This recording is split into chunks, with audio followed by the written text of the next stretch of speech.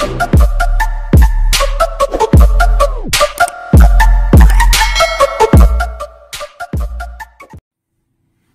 we will talk about loanwords. What are loanwords? A loanword, also a borrowing, is a word at least partially assimilated from one language into another language.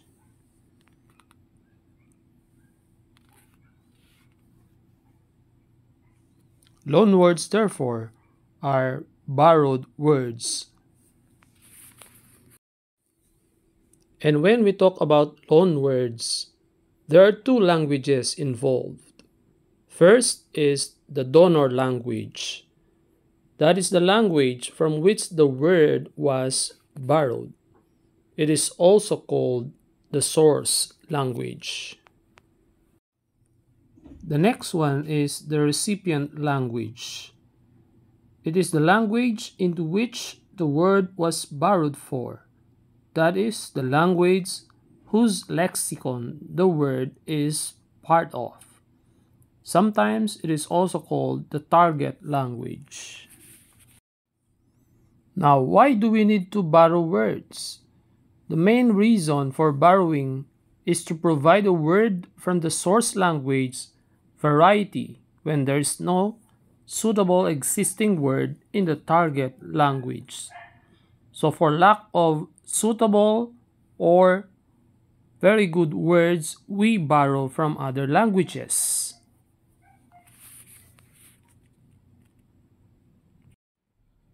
Now what distinguishes a loanword from a cognate? Cognates are words in two or more languages that are similar because they share an etymological origin. Take for example, dentiste in French and dentist in English. And when we speak about the origins of words, we talk about etymology, which is the study of the origins of words. It refers to the derivation of a word or the chronological account of the birth and development of a particular word. On the other hand, lexicon is the vocabulary of a person, language, or branch of knowledge, whereas lexicology is the study of the form, meaning, and use of words.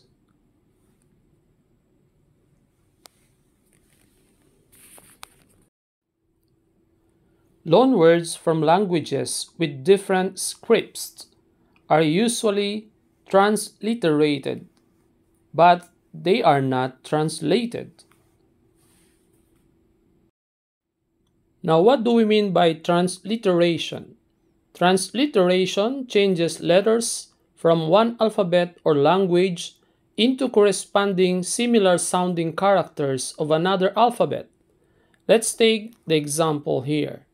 The Indian Drishti is transliterated into English as Drishti. Translation tells us the meaning of words in another language. Let's take this Portuguese phrase, O gato bebe agua, is translated into Spanish, El gato bebe agua, which in English it means the cat drinks water. Gato means cat, agua means water.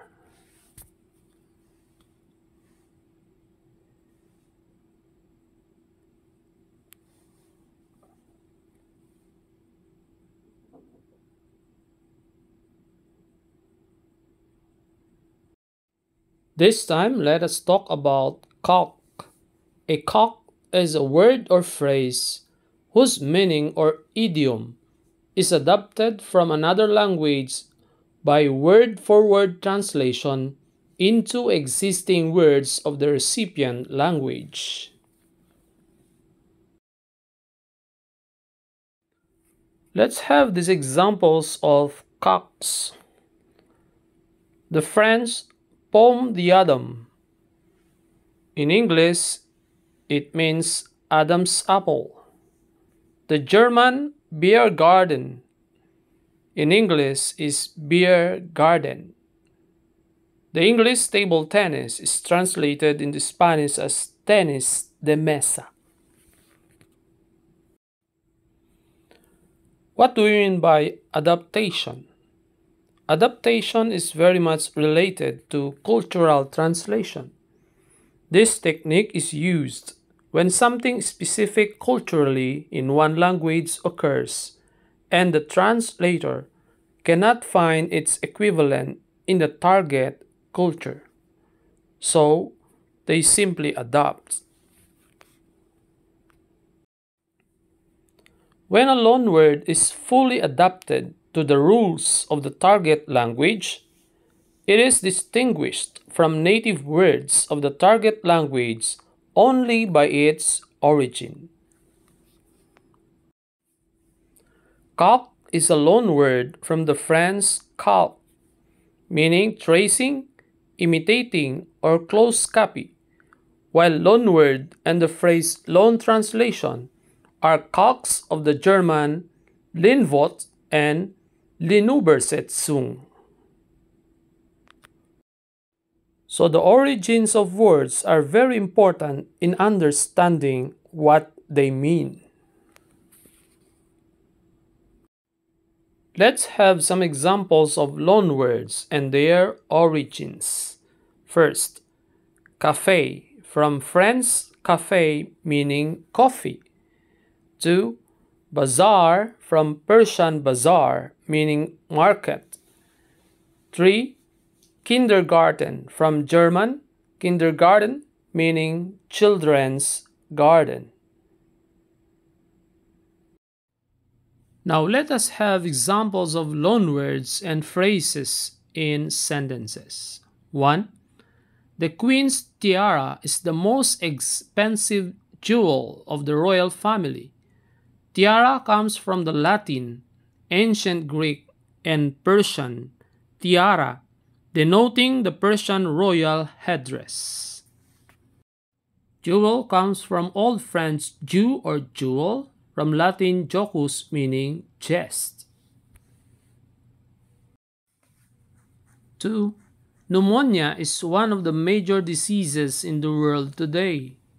Pneumonia comes from the Greek pneumon meaning lung and disease from mid-French disease meaning lack of ease or lack of comfort.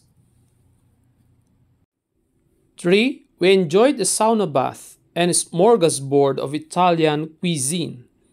Sauna is a Finnish word referring to both traditional Finnish bath and to the bathhouse itself. Smorgasbord is a Swedish word from smorgas, meaning slice of bread and butter, and gas or goose, and board, meaning table. 4. I used an avatar as Facebook profile as protection from fraud. Avatar from Sanskrit avatara, meaning descent, and fraud from Old French fraud, or from Latin fros, or fraud meaning deceit or injury.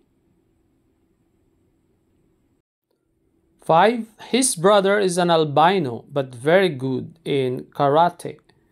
Albino from Portuguese, derived from Latin albus, which means white, and karate from Japanese kara meaning empty and te hand, literally empty hand. Karate is a Japanese martial arts. 6. My favorite drink is vodka, while slalom is my favorite game. Vodka is a Russian fermented drink from sorghum, corn, rice, rye, or wheat, while slalom is a Norwegian meaning sloping track. 7. My grandfather was a guerrilla who fought against the kamikaze.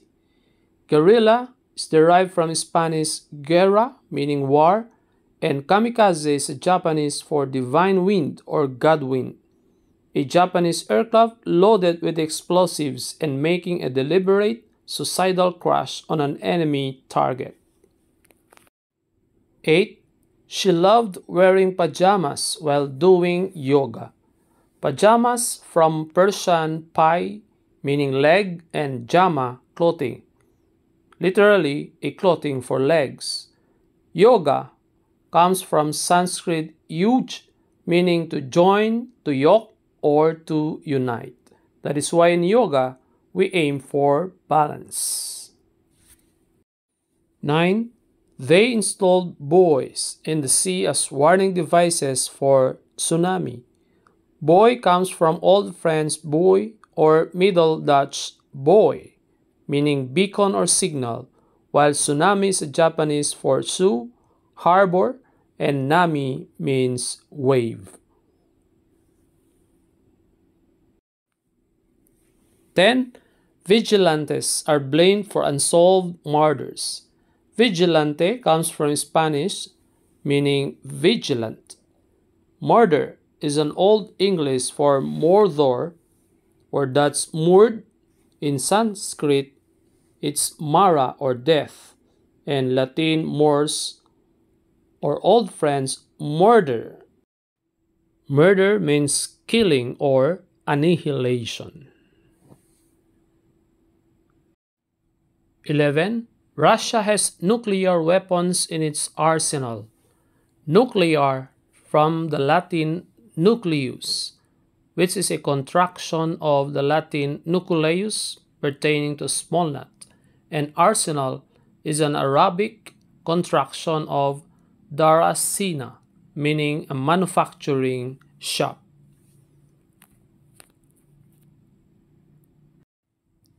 12. She is an icon of democracy. Icon comes from the Greek eikon, meaning likeness or image, while democracy come from Greek demos means people and kratos means power or rule. So the people will be the power to rule the city state. 13 I love eating salmon with Parmesan cheese. Salmon comes from the Latin salmo, which came from salire, meaning to lip, and Parmesan is the English translation of the Italian Parmigiano or Reggiano, This is a cow's milk skimmed at a different age or level and added with thermophilic lactic acid bacteria to be exact.